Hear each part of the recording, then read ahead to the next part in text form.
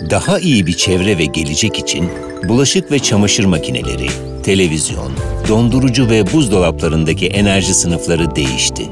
Ürün enerji seviyelerini A'dan G'ye uzanacak şekilde sınıflandıran Türkiye Yeni Enerji Etiketi düzenlemeleri, doğa dostu teknolojileri teşvik etmeyi amaçlıyor.